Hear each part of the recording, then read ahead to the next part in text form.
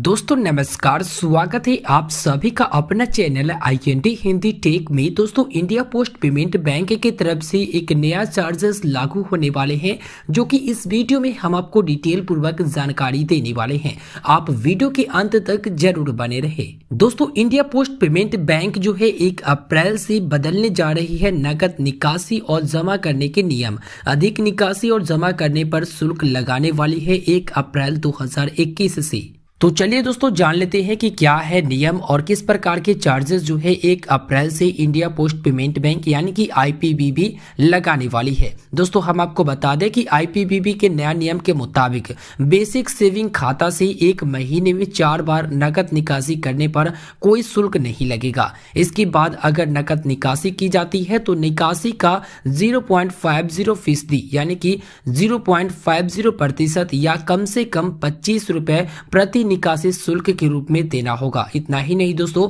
Savings account और current account के मामले में हर महीने पच्चीस हज़ार रूपया तक के नकद निकासी बिना किसी शुल्क के हो सकेगी। इससे अधिक की नकद निकासी पर खाता धारकों को निकासी का 0.50 प्रतिशत या कम से कम पच्चीस रूपया शुल्क देना पड़ेगा। सेविंग या करेंट खाता धारकों को तय सीमा से अधिक नकद जमा करने पर भी शुल्क देना पड़ेगा। जी हाँ यहाँ पर निकासी के बारे में भी मैंने आपको बताया, जहाँ पर जो है 0.50 प्रतिशत चार्ज लगेंगे। अगर पच्चीस हज़ार रुपया से ज़्यादा का निकासी करते हैं महीने की, या फिर आपसे जो है कम से कम पच्चीस रुपया की शुल्क ज़रूर लिया जाएगा। ज़ीरो प्रतिशत फाइव ज़ीरो प्रतिशत के अनुसार से यदि पच्चीस रुपया से कम होता है चार्ज तो आपसे जो है पच्चीस रुपया चार्ज किया जाएगा। पच्चीस रुपया से ऊपर होता है तो ज़ीरो पॉइंट फाइव ज़ीरो प्रतिशत के अनुसार से चार्ज किया जाएगा। तो यहाँ पर नकद निकासी पर भी चार्ज लगाया गया और नकद जमा करने पर भी चार्ज लागू होने वाली है। जी हाँ दोस्तों खाता धारक हर महीने में बिना किसी शुल्क के दस हज़ार रूपया तक नकद अपने खाता में जमा कर सकेंगे। इससे अधिक जमा करने पर उन्हें जमा होने वाली राशि का ज़ीरो पॉइंट फाइव ज़ीरो फ़ीसद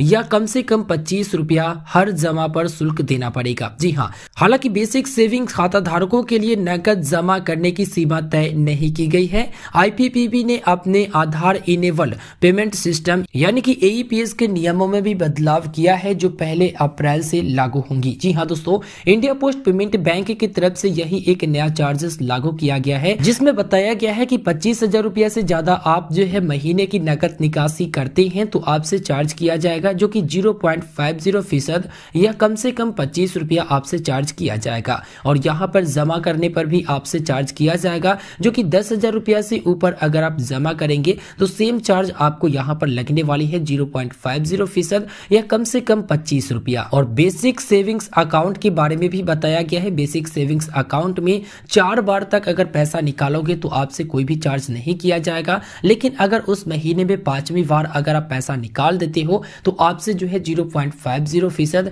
या कम से कम पच्चीस रुपया की चार्ज किया जाएगा। तो इस वीडियो में हमने आपको डिटेल पूर्वक जानकारी प्रदान करा दिया है। इंडिया पोस्ट पेमेंट बैंक की तरफ़ से जो अपडेट आया था, जो नया चार्जेस के बारे में जानकारी दिया गया था, इसके आधार पर हमने आपको जानकारी प्रदान करा दिया है। तो उम्मीद करते हैं दोस्तों कि आप लोगों को यह वीडियो पसंद आया होगा। वीडियो पसंद आया तो वीडियो को लाइक करिए, शेयर करिए और आप लोग वीडियो के नीचे कमेंट करके बताइए कि आईपीपीबी यानी कि इंडिया पोस्ट पेमेंट बैंक की तरफ़ से जो यह चार्ज लागू किया गया है, वो कितना तक सही है? तो मिलते हैं दोस्तों फिर एक नए वीडियो में। हमें दीजिए इजाज़त। तब तक के लिए गुड बाय।